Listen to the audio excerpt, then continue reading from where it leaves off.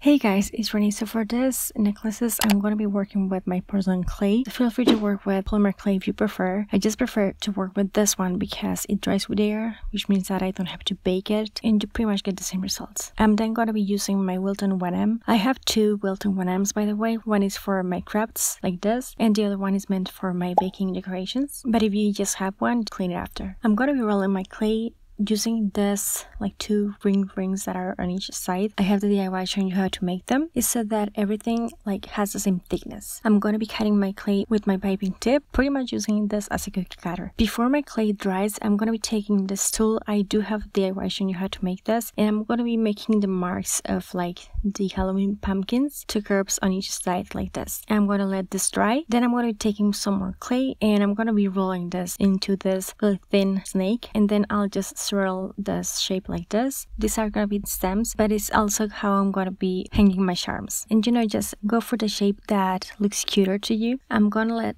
all those things dry. If you're working with polymer clay, this is when you bake them. For most of them, I'm gonna be doing the same thing as far as like sketching the face of my, my Halloween pumpkin, which is pretty much what we all know. And then using my X-Acto knife. And this pretty much is like carving actual Halloween pumpkins as far as like going back and forth with a knife with an actual pumpkin, but in miniature, like in miniature scale. And this is the part that took me the longest, and it was the most challenging part. I won't lie about that but also I just took my time, did one eye first, then took a break, came back, did another eye, and so on and so forth until I completed the whole face. So I didn't do it in one sitting because it's so small. I find it kind of overwhelming, but I think the final result is so worth it. So here's where I'm going to be doing different things to my different necklaces. The first one, I'm going to be painting this with my orange acrylic paint and my tiny brush, and then going with my green acrylic paint, my tiny brush, and painting my stem. Then I used my crazy glue, glued these two pieces together like this. For all of them, I'm going to be using two chains or two necklaces. They are like pretty much done and ready for you to just place your charm. One is gold and the other one is silver. For this first Halloween pumpkin, I'm going to be using the silver, my silver jump ring, two pliers, opening my jump ring, placing my charm and then my chain in there, closing it. And this is what this one looks like. I really like it. I love it. And I also switched in all of them having one tooth or just more than that. For the next one, I'm going to remove those ring rings because I want a really flat shape. Cut it until I have like a really, really thin coin sort of shape. And once it's dry, I'm going to be painting one side of this black. I'm going to be using another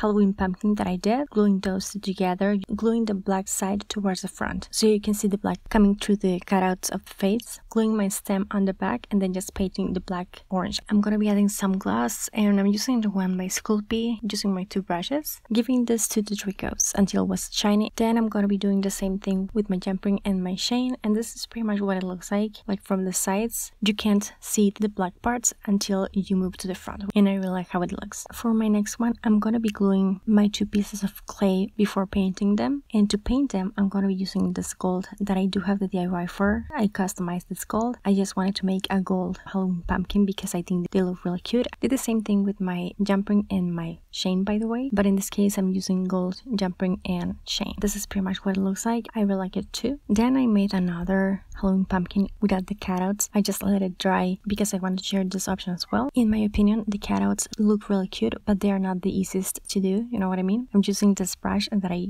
do have a DIY showing you where I got this. First with little dots, and then I'm gonna connect those dots with the same tool, and then filling this with a toothpick. Actually, this is just a toothpick holder. I do have the DIY showing you how to make this. I find toothpicks to be really easy to paint with. They are like a really thin brush, a delicate brush, but they are tricky to hold. And yeah, this is what this one looks like. Really festive, this one. And actually, I like all of them. I do have my favorites so the first one and the gold one. I think the first one is like dainty but still festive, and the gold one, I think it's really dainty. From far away, it looks like you're wearing something else. Doesn't look like a Halloween pumpkin at all. It's just when you get closer that you see the whole thing. And I think for some reason that most kids will prefer the shiny one. Hopefully, there's something here for everybody, and you like them too. If you did, don't forget to give this a thumbs up and let me know down below. Check out more Halloween accessories at my channel and share this. Thank you so much for watching. I'll talk to you later and take care. Bye.